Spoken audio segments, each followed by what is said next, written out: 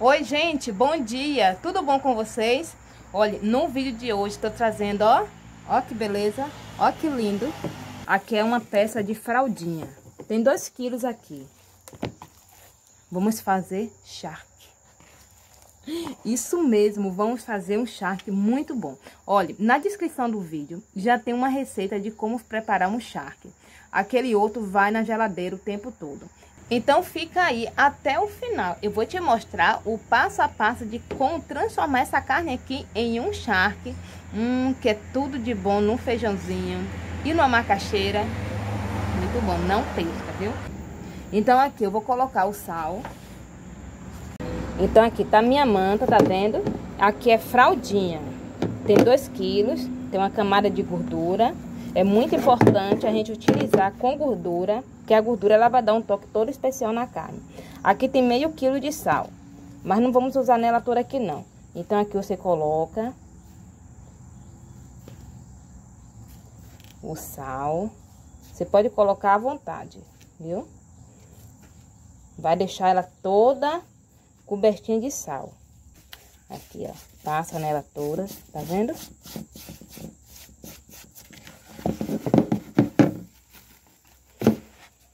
E aqui vem pegando esse sal, ó.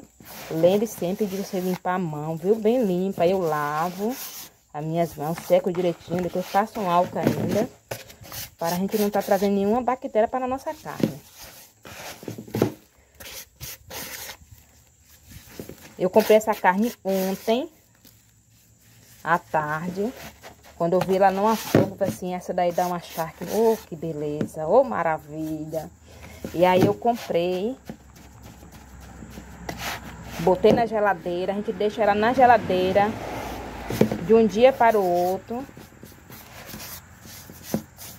Para poder ela descoberta. Você coloca na geladeira, numa vasilha, descoberta. Para poder ela desidratar um pouco. Pronto. E aí no dia seguinte é que você vem fazer esse processo aqui. Tá muito linda essa fraldinha.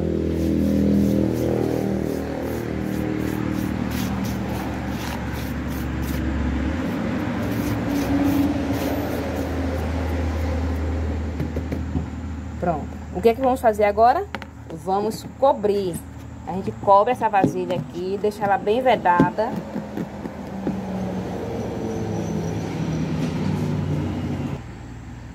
Olha o tanto de sal que usamos nessa primeira etapa, tá vendo? Depois de coberto, você deixa fora da geladeira aí na sua cozinha, no lugar assim de sombra. Não deixa exposto ao sol, a temperatura alta não, viu? Pode ser até dentro do armário, forno desligado. Em algum lugar que fique friozinho, mas que não pode ser na geladeira, viu? Esse daqui não vai na geladeira não. O que, que você vai fazer? Você vai deixar ela descansar por 48 horas. São dois dias, viu? E aí, voltamos aqui para a gente fazer o segundo passo.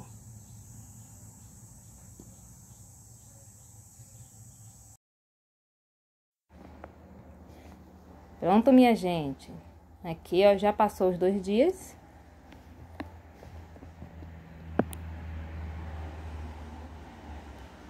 Olha, Maravilha. Quanta salmoura liberou. Aí jogamos fora aqui esta água. A carne já tá firme. Vou só lavar aqui essa vasilha.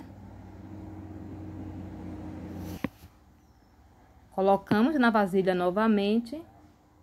E vamos colocar mais uma camadinha de sal. Você espalha por cima. Não precisa colocar muito, não.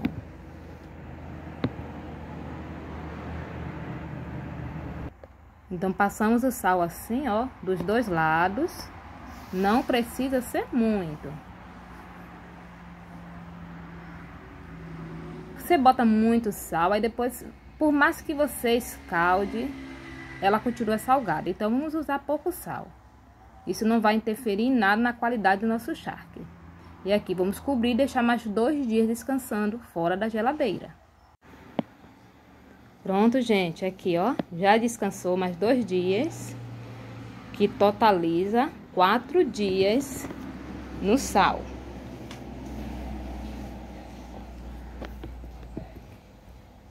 E aqui a gente vai retirar dessa vasilha, tirar a salmoura e vamos secar essa carne com papel toalha. Vou colocar aqui nessa bandeja.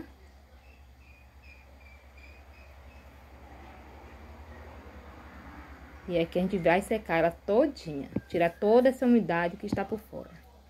Ela aqui já tá bem desidratada, tá bem durinha.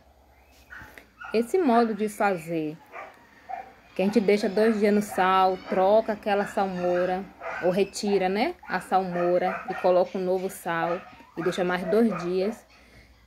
É melhor fazer com essa camada mais grossa.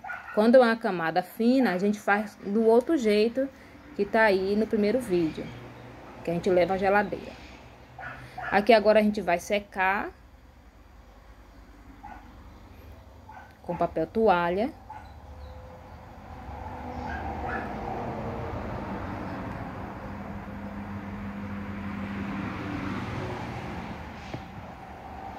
Aqui agora eu vou dividir ao meio, que é um pedaço grande, e vocês vão observar como ela está. Olha que coisa linda. Olha para isso. Que maravilha. A faca tá uma delícia de afiada. Pronto. Aqui agora a gente vai passar uma camada de sal em volta dela. Viu? Como se fosse empanar.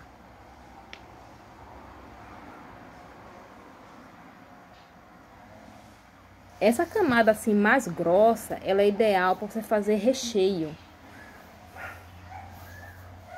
Você cozinhar, desfiar, rechear pastel, é, empadinha. Muito bom.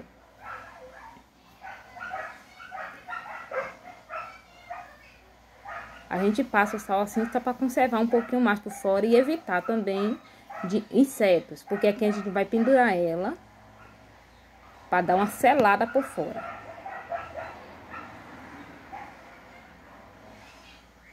Eu uso o sal rosa, como eu já falei, porque esse é o sal que eu uso na minha cozinha, mas você pode usar o seu sal branco refinado.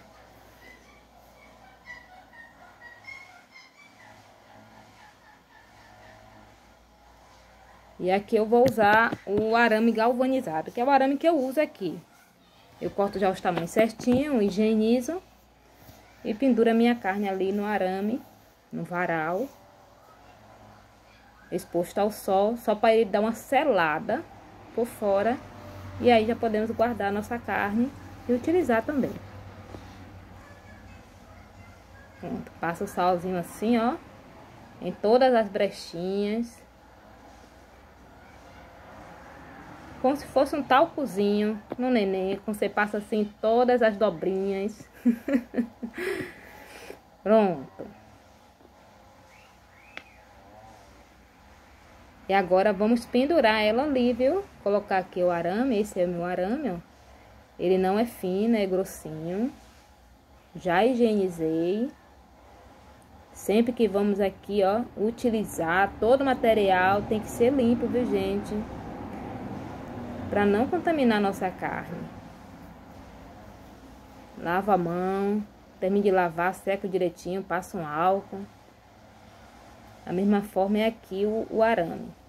Tá lavado, sequinho. Que a gente compra ali na carne material de construção, tá lá jogado, nem vai chegar e enfiar na carne. Não temos que limpar. Então aqui agora eu vou pendurar. Tem um local ali, ó, que já tá pegando sol.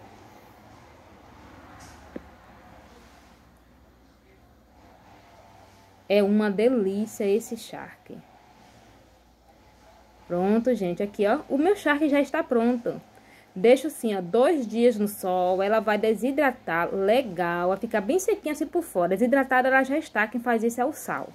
E aqui é só para dar uma secada assim por, por fora, dar uma selada. E aí você já pode usar da maneira que você quiser. Amanhã eu coloco no sol novamente. Ó que maravilha, olha como ela já está linda. E eu vou ficando por aqui. Eu vou deixar aqui, ó, na descrição o link de outros tipos de carne, de toda a especiaria que eu tenho preparado aqui. Eu vou deixar ali no canal, viu? Se inscreva, ative o sininho para você não perder nada. E fiquem todos na paz do Senhor. Tchau!